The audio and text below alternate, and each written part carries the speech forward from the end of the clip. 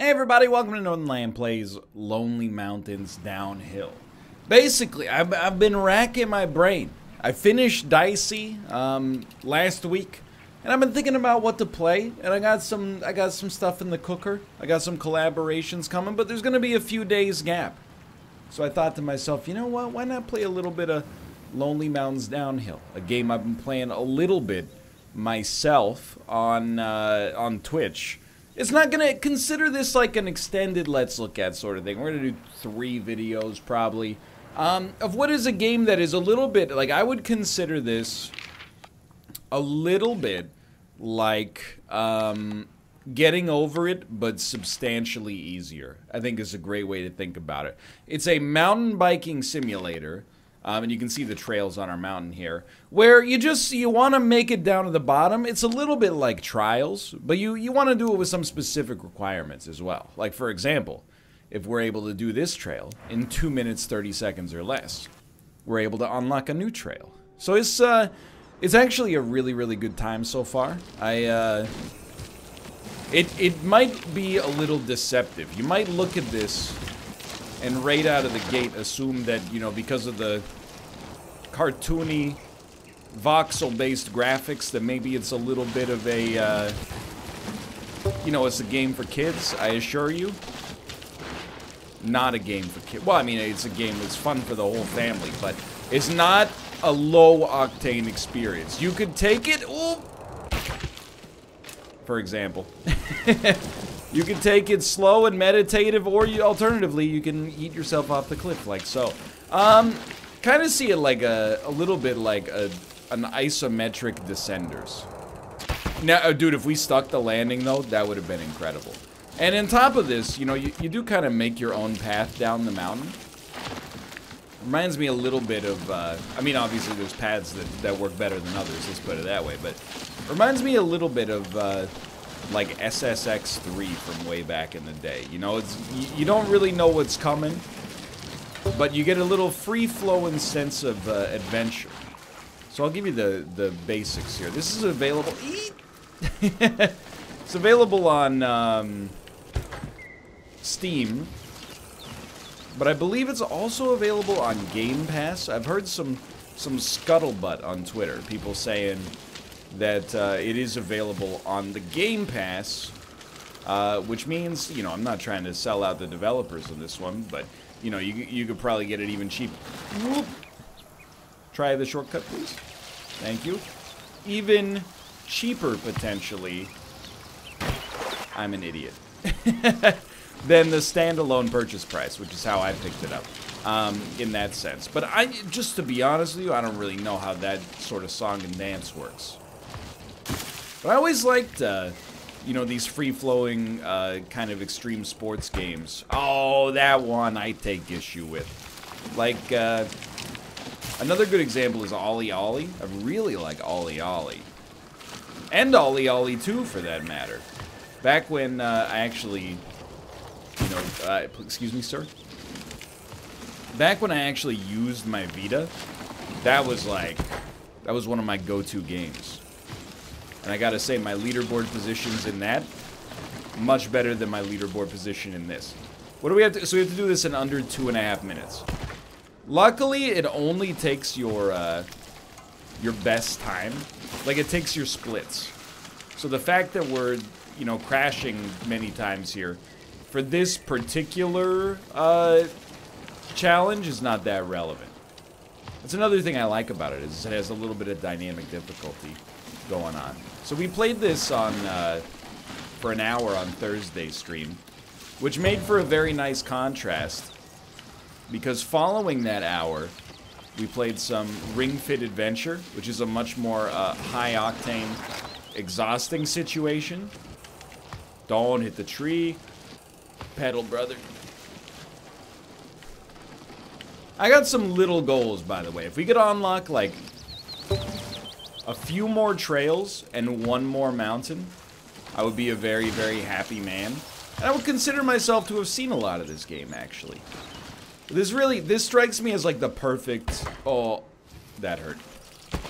As a perfect, I should say, you know, like one session game. the kind of game you see a little bit of on the channel, and you go, hey, maybe I'll pick that up myself. I got some time this Saturday. Play it for a little bit on Saturday. Master it. Recommend it to everybody. And then uh, may or may not ever pick it up again, but it was still worth it. I heard this was at PAX, actually, and I'm remiss to have missed it. Okay, little focus. You might be no noticing I am not the greatest player of the game. I will say, in my own defense, it's a little harder than it looks, okay? So, like, I'm using the controller, as you might expect. And, uh, right trigger... Right trigger is pedal. But A is also sprint. And I think for getting, like, the time trials going here, managing that sprint is going to be very relevant. You can also brake, but much like in Mario Kart, if you brake in this game, you're a coward. And it's just that simple. That's uh, absolutely false, and I do not stand by it at all. I immediately um, rescind and retract my support for what I just said. Sometimes braking is necessary. Also very useful if you want to throw in a little skirt. He's done it? I for sure thought we were dead as heck. And yeah, I mean, I'm not going to talk too much about like how I feel about the game because it's, you know, it's kind of one of those show but don't tell sort of things. The fact that I'm playing it should indicate to you that I'm a, a reasonably big fan of it to begin with. But uh, just a kind of one of those games, and it's one of my favorite like subgenres of game. And it's not even about its mechanics; it's about its like media presence. But one of those games that sort of came out of nowhere and took me by surprise. You know, it, it's not that ambitious, but still very good at what it wants to do. So we're in 1007th there. Seems pretty good to me. And despite my terrible performance, we did unlock a new trail. Okay. So the first time you go through a trail, all you got to do is cross the finish line. After that, you can do other challenges, and those challenges allow you to get like uh, bike parts, uh, which you can get new bikes. I'm assuming some of these bikes will allow you to maybe have a little bit more uh, stability. so if you go off in a situation like that, you're not uh, totally screwed. But yeah, you know, I've, I've got some stuff in the cooker. Uh, for and this is now a video where I'm talking about the future direction of where we're going. Um, now that Dicey is uh, is complete, and I do want to say it is complete. Let's try this path. I know. Yikes! Yeah. Oh, we've done it. Okay, we're dead. I know that there's like a hard mode. I'm just I'm done with the game. And that's not meant to be like an insult to Dicey. It's just, it's time. We did our part uh, with Dicey. And, uh, I mean, I'm, I consider that game good, for sure. And I'm very pleased to have uh, finished it, even if we did require the patch. There were a lot of times, goodbye, where it seemed like we would not finish it. But uh, I, I want to, I'm thinking like, Bear and I are trying to get together, do a little bit of Super Animal Royale, maybe with some, okay, that'll work, some other people as well. Get that going for like a little bit of a week, but you know, or a week or so, I should say. But earlier uh, this year, I said, you know, I want to get one of my 2019 resolutions occupationally was to get some more variety on the channel, and we have, but we also, we've hit a little bit, I don't want to call it a lull, but we, we hit a little bit of a static period because we ended up playing Dicey for like more than two months. Um, and also Tetris, but Tetris isn't going anywhere because it's the greatest game that's ever uh, been made for the Nintendo Switch. Um, so yeah, I'm thinking about hopefully keeping that spot for now a little bit more flexible. So I, I'm hoping we'll get maybe like five days to a week of some Super Animal Royale videos, and who knows, you know, leaving it open to check out some new stuff that might come out. So do feel free to hit me up with your suggestions. Um, I will, oh my god, this is a tough one. Okay, you know what? Good time to use the brake. I will tell you, the game everybody is suggesting is uh, Noita. I still... I don't... I don't get it. Just be cool here. It's not that I think Noita is bad. It's more like... I wish I derived as much pleasure from playing it as so many other people seem to. Because it's kind of a no-brainer fit, right? But at the same time, game where, you know, it's oh, this year's uh, hottest roguelite, where you can be Harry Potter and come up with magical spells on the fly. Stay away from weird goblins, and, you know, who knows what the world might have in store for you. I sleep. I wish I didn't. But I sleep a little. Game where you drive a bike down a mountainside, real stuff. I wake. so that's what we're thinking about right now. Just keeping it a little flexible. And ideally, you know, offering up some more spots for collaborations. And you know, you might be like, why aren't you talking about the game? Well, first off, I'm not like other YouTubers. I'm a cool YouTuber. I talk about the, the game briefly, and then I use the game as an opportunity to talk about uh, other stuff uh, and, and banter. But, uh, Hold on. Hold on. I want to try I am a fool. I am a I am a fool. I thought I was a genius, but I am a fool. I want to see what's going on down here. Maybe we can... You could have stuck that one. Hey, man, I've been biking on the seawall. Sometimes some wannabe Lance Armstrong cuts you off. You can't just give up that easily. You know, you got to stick the landing. He's done it. Um, yeah, it's hard. Uh, and uh, again, I want to be clear. Everybody's got their own stuff going on. I'm not throwing anybody under the bus, but it's, it's hard to get uh, collaborations going. Man, this trail is tight. As compared to, that, you know, the early ones. Um, or even the last one you saw. You know, it's tight. Uh, or what, what was I to say? Everybody's got their own uh, stuff going on not that many people are doing uh, YouTube stuff specifically anymore. Used to, you know, back in like 2015, be like, hey guys, this cool new multiplayer game came out. You guys want to get together and play it on YouTube? And everybody was like, heck yeah. Nowadays, all the cool kids are streaming. Only a few people left doing YouTube stuff. In, in our circle, at least. And when I, you know, I don't want to be imposing. You know, I don't want to be like, hey, you guys want to get together and play this on YouTube. I know you haven't, you know, actually posted a video on your channel in forever, and, you know, essentially for you, this will be a donation of your time, but, you know, so you guys got to be the right thing. But when it works, oh, it works, and it's beautiful. Plus, on a selfish level, collaborations are great because I get to rest my voice. Especially if they're shouting at Tetris and uh, Isaac and now mountain biking on a daily basis. Oh, it's so idyllic down here now. Um, it's a nice uh, change of pace. I gotta tell you, dude, this game is like, is the antidote to what I got going on in my life right now. We've been moving, it's stressful, it's physically uh, exhausting. This must be the end. This game what it turns out, pretending to physically exhaust yourself, very relaxing. Well, it's very strange. All right. Oh.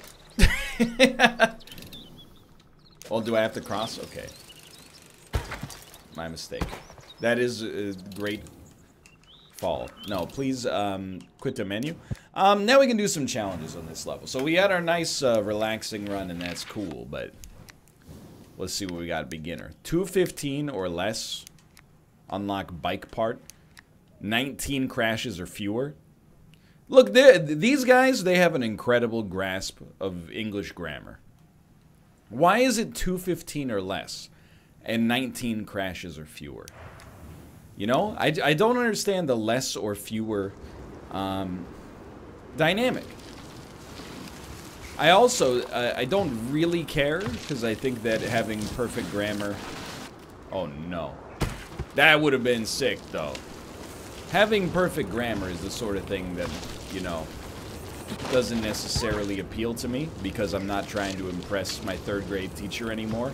She's been dead since probably like the year 2002. God rest her. You know, let her sleep. Don't don't bother her with these inane questions about well, is it less or fewer? You know.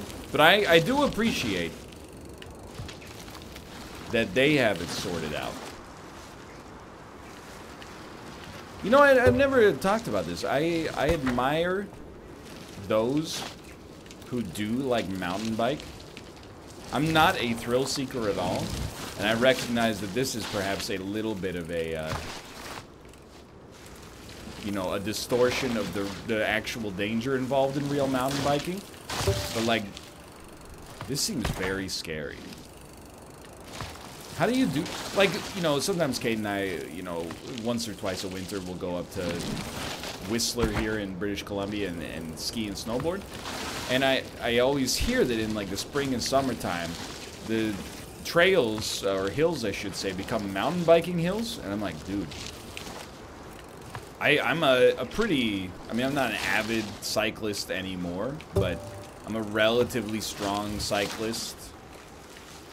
I can't even imagine, like, getting on a, a hill that has like a 40 degree drop or something like that with moguls on it and being like, yeah, let's do it.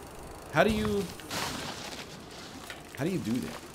I don't. I won't even say why do you do that because I get it, even though I don't get it. I I understand it. It's like you know, adrenaline junkie, right? But like, oh, I forgot about this part. no. but like, how do you? How do you get started on that? Does it just happen by accident? You find yourself on a hill that's a little bit too uh, steep. You get to the bottom and you go, "Ooh, that was fun." Because I've had those situations uh, when I was younger. Only I never really felt like, "Ooh, that was fun." I was like, "Oh my god." Race back to the farm to be with my uncle by the fireside.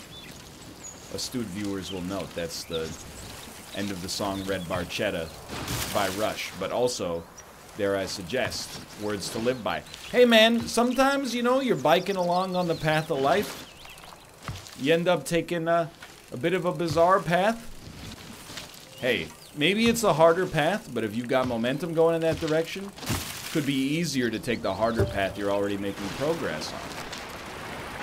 As opposed to taking a different path. That was so dumb. We had it in the bag. As opposed to taking a different path that, you know, looks easier on the outside. Why, again, the same thing. But, uh, you know, you gotta start moving in a brand new direction there, you know what I mean? Thank you, thank you. We're gonna make it.